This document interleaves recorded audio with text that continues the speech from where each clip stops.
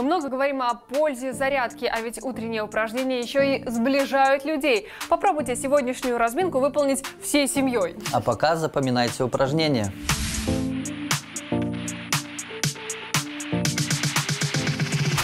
Для выполнения данного упражнения возьмите в руки ленточный эспандер, расположите его под стопы. Выполните преднатяжение эспандера руками. Ваша задача на вдохе поднять плечи вверх, свести лопатки и на выдохе опустить плечи вниз. Данное упражнение выполняем 12-15 круговых движений, 2-3 подхода.